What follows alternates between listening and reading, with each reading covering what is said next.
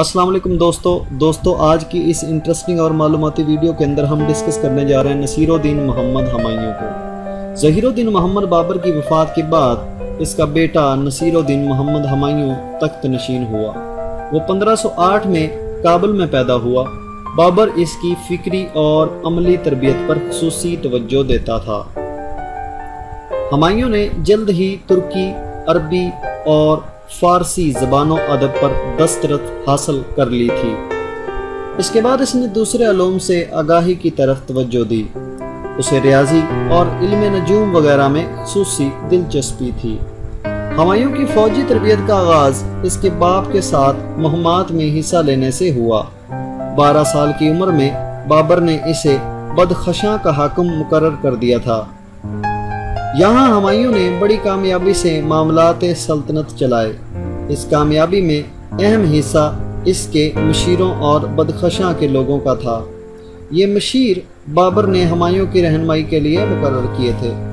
पानीपत की जंग में हमायूं बड़ी दिलजमी से लड़ा।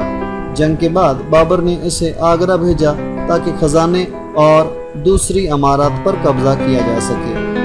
यहाँ पर हमायूं ने अपने सिपाहियों को किसी किस्म के तशद और लूट मार की ममानत कर दी थी। जंग कनवाहा के बाद हमायूं ने अफगानों के खिलाफ एक मुहिम की सरबराही की। इस मुहिम में इसे कामयाबी हुई।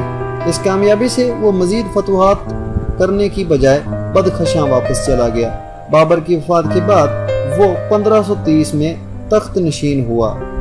इंतज़ामी तौर पर हमायूं के पेश नज़र दर्ज झेल बुनियादी मसाइल थे। हुकूमत का ख़जाना करीबन खाली था। बाबर को जो भी ख़जाना मिला था, इसने बागियों के ख़िलाफ़ लड़ाइयों, फतूहत और तमीरत में इस्तेमाल कर लिया था। बाबर एक ताकतवर हुक्मरान था, जबकि हमायूं को एक कमज़ोर हुक्मरान समझा जाने लगा। इस वजह से सियासी सूरत हाल में तब्दीली आई। हमायूं को इसके वालद ने यह वसीयत की थी कि वो हमेशा अपने भाइयों से नेक सलूक करे। इस पर अमल करते हुए हमायूं ने सल्तनत को चार हिस्सों में तकसीम कर दिया। मिर्ज़ा कामरान को काबुल और कंधार की हुक्मरानी दी। इसी तरह अस्करी और हिंदाल को दीगर इलाके दिए। इस तरह सल्तनत तकसीम हो गई। जब हमायूं पर मुश्किल वक्त पड़ा तो इसके भाइयों ने उसकी कोई मदद ना की। लोधियों और अफगानों से मारकार आई बाबर की वफात के बाद इब्राहिम लोधी का भाई महमूद लोधी ओध और बहार में सरगर्म अमल हो गया था। महमूद लोधी ने जौनपुर पर हमला करके वहाँ के मुगल गवर्नर को मार भगाया। हमायूं जौनपुर की तरफ़ बढ़ा और महमूद लोधी को शिकस्त देकर बहार की तरफ़ भगा दिया और जौनपुर पर कब्जा कर लिया। हमायूं ने अपनी पेशकदमी जारी रखी और चनार का महासरा कर लिया। चनार में इन दिनों शेर शाह सूरी का तसलत था। हमायूं ने चार माह तक महासरा जारी रखा, लेकिन किला फतह ना हो सका।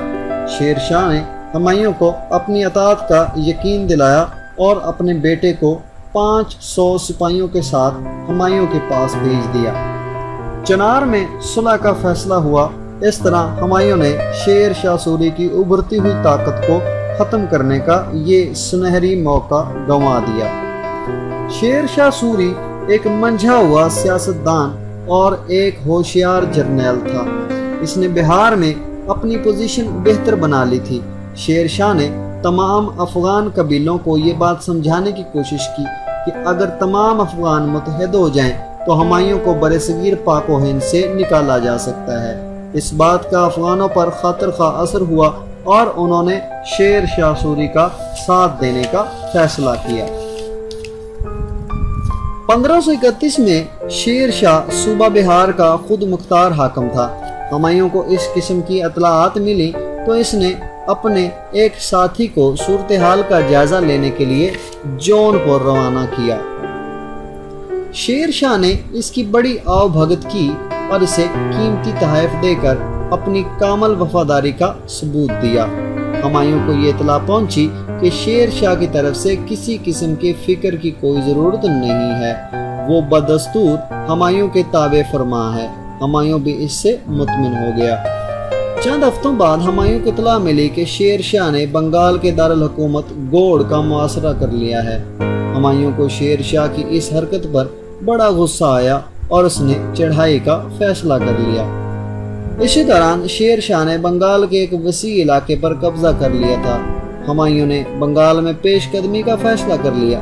हमायूं की पेशकदमी के पेश नज़र शेर शाह पीछे हटता गया और हमायूं बिला मजामत पंद्रह सौ अड़तीस में गोड़ में दाखिल हो गया।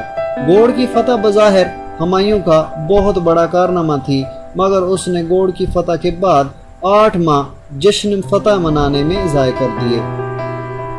इस तमाम अरसे में शेर शाह ने अपनी पोजीशन मज़बूत कर ली और मौका पाते ही आगरा से आने वाली सप्लाई लाइन काट दी। हमायूं का अपने दारुल हुकूमत आगरा से रबता मुनक़ हो गया। इसने फ़ौरन अपने भाई मिर्ज़ा हिंदाल को सप्लाई लाइन बहाल करने के लिए रवाना किया, मगर मिर्ज़ा हिंदाल ने आगरा पहुंचकर अपने बादशाह होने का ऐलान कर दिया।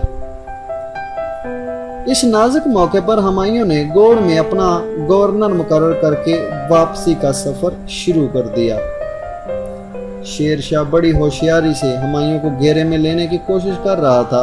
उसने हमायूं को आगे बढ़ने दिया और हमायूं आखिरकार बिला मजामत मोंगीर पहुँच गया। मोंगीर के नवा में शेर शाह अपने लश्कर समेत इसके इंतज़ार में था। हमायूं को जब शेर शाह के लश्कर की खबर मिली तो उसके साथियों ने मशवरा दिया कि शेर शाह पर फ़ौरन हमला कर दिया जाए।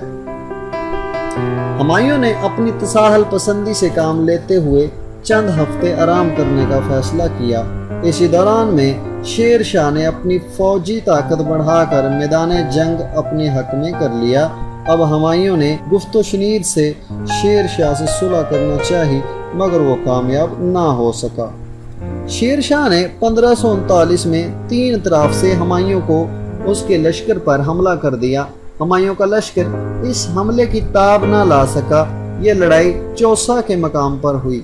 हमायूं की फौज के आठ हज़ार के करीब सिपाही मारे गए और इससे कहीं ज़्यादा दरिया गंगा में डूब गए। हमायूं ने गिरफ्तारी से बचने के लिए घोड़ा दरिया में डाल दिया। हमायूं दरिया में घोड़े से गिर गया और डूबने के करीब था कि निज़ाम नामी एक शख्स ने इसे बचा लिया। हमायूं नहायत खस्ता हालत में आगरा पहुँचा। हमायूं के अहल खाना शेर शाह के कब्जे में आ गए। शेर शाह ने इन्हें नहायत एहतराम से हमायूं के पास भिजवा दिया। चौसा की जंग में फतह के बाद शेर शाह का वकार बुलंद हुआ। वो चौसा से सीधा गोड़ आया और वहाँ अपनी बादशाहत का ऐलान कर दिया। आज की वीडियो के अंदर इतना ही। मज़ीद इसको आगे बढ़ाएँगे इन अगली वीडियो में। तो तब तक के लिए इजाज़त दीजिए। अल्लाह हाफिज़।